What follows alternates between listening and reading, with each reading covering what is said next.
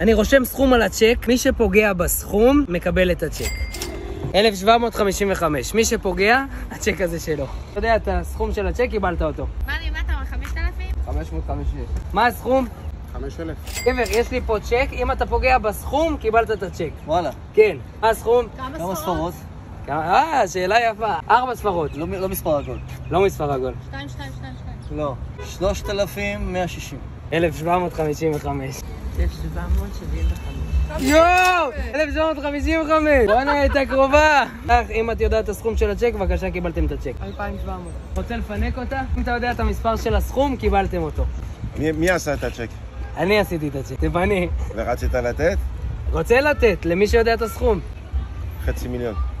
תימני, תימני, איך חצי מיליון? המספר של הצ'ק אתה מקבל אותו. מספר? כן. 26.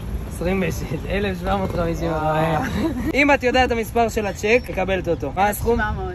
1700. יואו! שומעת? תסתכלי. תסתכלי. עוד 55 זה השלך. אני יודע שאתה ממהר, אבל אם אתה יודע את הסכום של הצ'ק, יכול להיות שקיבלת הרבה כסף היום. כמה הצ'ק? 4, 4, 4, 4. 1755. תודה. אם אתה יודע איך קוראים לי, אתה מקבל אותי מתנה עם קנס. רותי, נכון? תקשיב, עד מחר אני יושבת איתך פה, אתה לא זוכר, אתה לא מצליח. אה, סליחה שאני מפריע לזוג, אבל אה, אתה רוצה לפנק אותה, נכון? אם אני אתה- מכירה אותך.